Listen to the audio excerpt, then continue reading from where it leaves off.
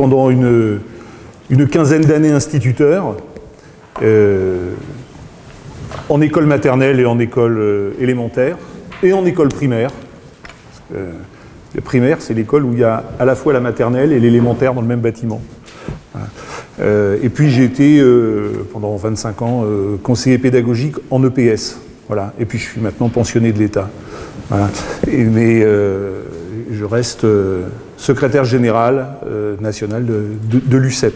Juste vous dire un petit peu ce, ce, que l'on est, parce qu'on entend parler de l'UCEP et on ne sait pas toujours bien ce que c'est. Et pour beaucoup de, collègues du second degré, l'UCEP c'est un peu l'UNSS du premier degré. Or, c'est pas vraiment ça. Voilà, c'est pas vraiment ça. Euh, en fait, nous, venons d'un grand mouvement d'éducation populaire, d'un mouvement philosophique qui s'appelle la Ligue de l'enseignement. Euh, alors, je vais y venir assez rapidement. Euh, en 1866, il y a un journaliste républicain qui s'appelle Jean Massé qui, euh, constate le coup d'État réussi par Napoléon III avec finalement la complicité du peuple puisque, le référendum a, a, a légalisé le coup d'État. Et il se dit, le suffrage universel, c'est la pire des choses. Virgule, s'il ne s'accompagne pas d'une éducation du citoyen. Et donc l'idée, c'est de faire en sorte qu'il y ait une, école publique qui deviendra laïque et gratuite et obligatoire, et chacun des objectifs a, a, a son importance, parce que comment faire des élections si on ne forme pas des électeurs et des citoyens, qui ne sont pas des citoyens qu'une fois tous les 7 ans ou tous les 5 ans? Et, c'est donc, c'est très important parce que on, est derrière, derrière, tout ça la finalité de l'école. Quand les politiques, alors Claire parlait de politique tout à l'heure, mais quand les politiques disent euh, la finalité de l'école c'est de lire, écrire et compter, sans doute, ça moi je dirais que c'est plutôt un outil. C'est parce que je sais lire, écrire et calculer que je peux devenir un citoyen euh, éclairé, euh, responsable, et, et voilà, c'est un peu ça notre travail. Donc nous, on s'inscrit directement dans cette, dans cette philosophie-là. D'accord? Euh, Vous connaissez les lois organiques de 1881-1882, hein, sur les, les, adjectifs que j'ai utilisés tout à l'heure par rapport à l'école, je n'y reviens pas.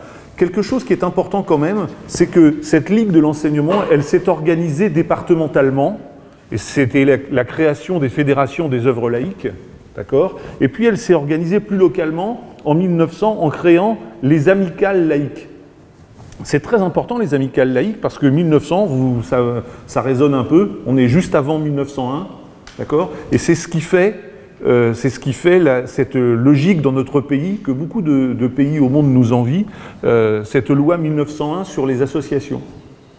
Voilà. Et, et nous, nous nous inscrivons aussi euh, dans cette logique-là.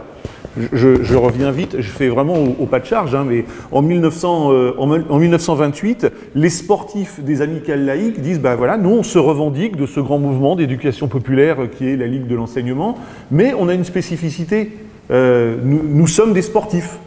Et voilà, et ça serait bien qu'à l'intérieur de la Ligue, euh, on puisse s'organiser comme fédération sportive et se crée à ce moment-là l'UFOLEP l'Union française des œuvres laïques d'éducation physique. D'accord?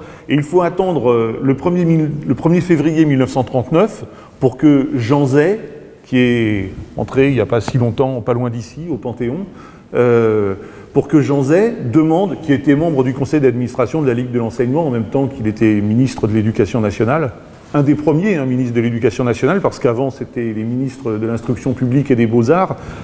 C'est pas neutre, hein, l'Éducation nationale.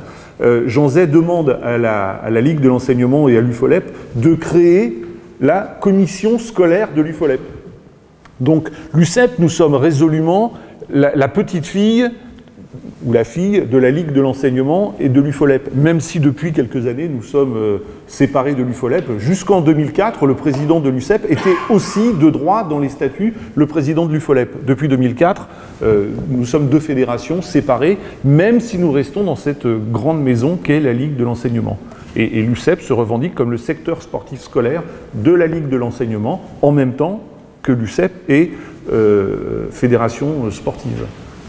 Donc c'est important ça parce que euh, professeur, euh, professeur de PS, vous, êtes, euh, vous avez votre forfait de 3 heures UNSS et, et globalement vous faites partie de l'institution scolaire. D'accord? Et maintenant, encore plus avec les cadres de l'UNSS qui sont les conseillers techniques des, des, des, des, DAZEN ou des recteurs. Nous, nous sommes à côté. Nous sommes le complément d'objet direct, j'allais dire, de, de l'institution. Mais on ne se confond pas avec l'institution.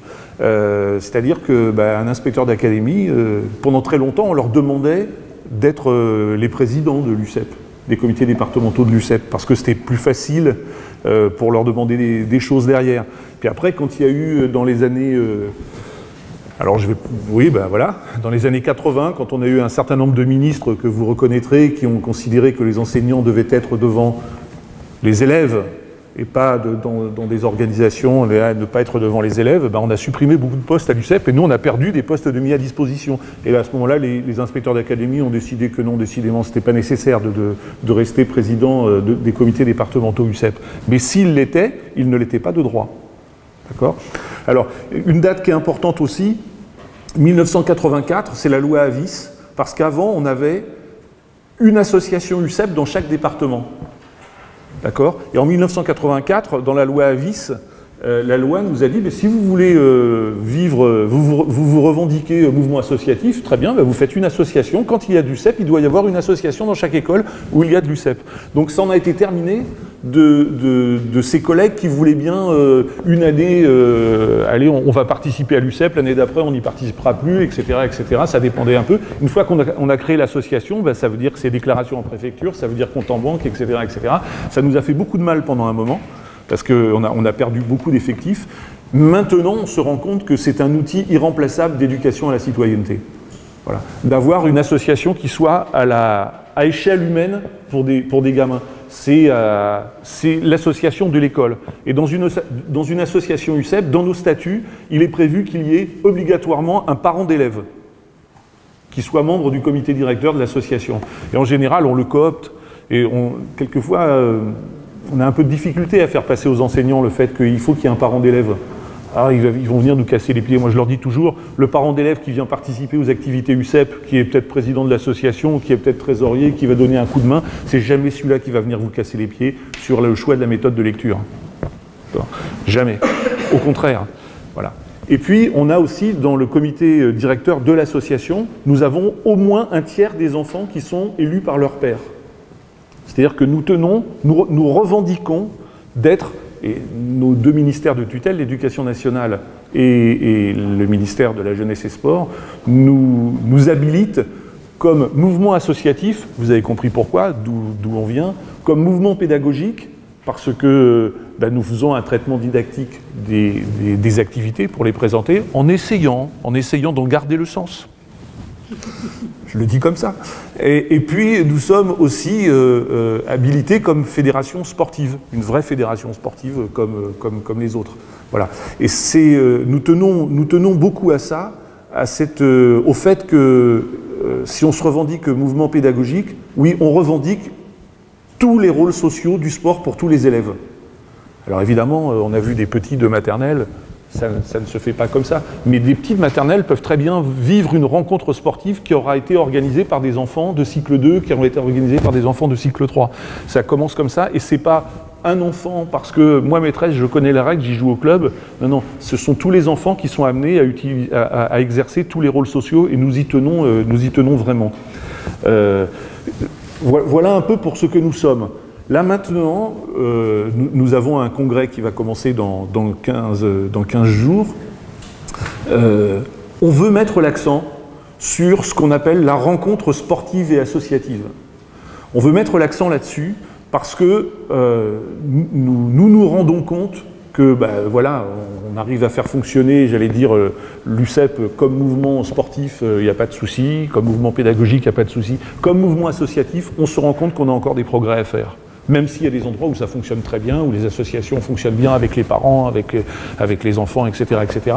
On a mieux à faire, nous semble-t-il, et on souhaite vraiment que l'associatif, et on va travailler là-dessus pendant le prochain congrès, que l'associatif éclaire le sportif et que le sportif éclaire l'associatif. C'est-à-dire que des gamins soient amenés aussi, avant une rencontre qu'ils vont préparer, pendant la rencontre et après la rencontre, à avoir des moments de réflexion, des moments de débat réflexif sur ce qui est la pratique, euh, ce qui la pratique sportive, avec des entrées particulières, euh, l'égalité entre les filles et les garçons, euh, le handicap, le, sport pour tous euh, et, quel sport pour tous. Ils se rendent bien compte qu'il y a des endroits où on peut faire tel sport et puis à d'autres endroits on aimerait bien le faire mais ça n'est pas possible, etc. etc.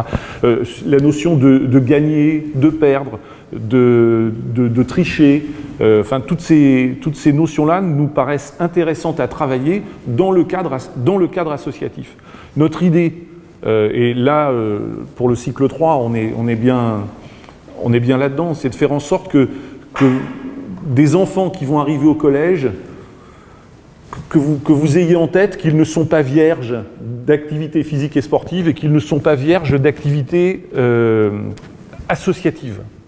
Voilà. Alors ça ne vaut pas partout, parce que si dans chaque établissement du second degré il y a une association UNSS, nous n'avons pas ça dans chaque école. Voilà. Nous n'avons pas ça dans chaque école. Comme Claire l'a dit, nous sommes tous des bénévoles. D'accord? Ça veut dire que on a des rencontres sur le temps scolaire, on a des rencontres hors temps scolaire, mais même une rencontre sur le temps scolaire, elle se prépare. D'accord? Et c'est un, gros boulot qu'on essaye de faire là en ce moment euh, envers les, DAZEN, envers les recteurs et envers le cabinet de, la ministre, de dire si euh, il est nécessaire qu'il y ait un peu de temps qui soit dégagé, parce qu'une rencontre euh, pour, pour 500 gamins, ben, ça se prépare et ça demande du temps.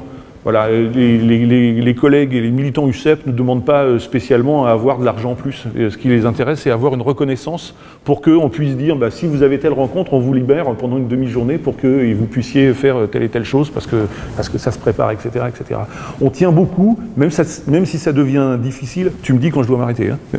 Euh, euh, on tient beaucoup à ce que euh, euh, on ait un équilibre de, de rencontres et on, tient au terme de rencontre, euh, entre le temps scolaire et le hors temps scolaire. On pense qu'une UCEP qui se ferait que sur le temps scolaire, ça n'aurait pas de sens, parce qu'il y aurait une confusion dans l'esprit des parents avec, euh, avec euh, l'éducation physique en, tant que- telle, en tant que discipline. Voilà. Et nous voyons par expérience que des enfants qui ont expérimenté une rencontre hors temps scolaire, le mercredi euh, après-midi, le samedi, euh, euh, av- avec des parents qui ont vécu des activités de pleine nature un peu particulières, un peu extraordinaires, ne sont pas les mêmes élèves au fur et à mesure. C'est-à-dire qu'il y a quelque chose qui se fait, ça vaut pour les enfants, ça vaut aussi pour les parents. Je, vous donne juste un exemple. Moi, je suis, dans le département des Yvelines, j'y ai travaillé toute ma carrière. Quand on s'est rendu compte que des gamins de petits villages, parce qu'il n'y a pas que dans les marais de 40 ans, euh, voilà, des enfants de petits villages, euh, dans des petites écoles de, classe unique ou de deux classes, ne vont jamais dans leur scolarité dans un gymnase. Jamais, il n'y en a pas. D'accord? Mais qu'à contrario, des enfants de, de Trappes, des Mureaux ou de Mantes ont très très peu d'activités de pleine nature. Ben, quand on fait se rencontrer ces enfants-là, quand on fait se rencontrer ces associations-là, ils découvrent. Les enfants découvrent, mais les parents aussi découvrent. Et il y a- un vrai travail d'éducation. J'y reviens, je vais boucler la boucle avec tout ça. Euh, résolument, pour nous, l'activité physique et sportive, c'est un enjeu, euh, enjeu d'éducation, et on se sert de, l'activité physique et sportive. On propose des activités physiques et sportives qui doivent être éducatives. Un dernier point, j'ai- parlé de fédération des œuvres laïques. Pour nous, ce qui est très important, et encore plus maintenant, euh, nous considérons la laïcité comme un principe d'organisation de la société. Il y a les valeurs de la République, liberté, égalité, fraternité, mais il y a un principe d'organisation, c'est la laïcité, mais on la considère aussi, cette laïcité, comme un objet d'enseignement, au concret, très au tous les jours. Voilà. Je pourrais parler très longtemps, je vais m'arrêter là, et puis comme ça, voilà. Merci.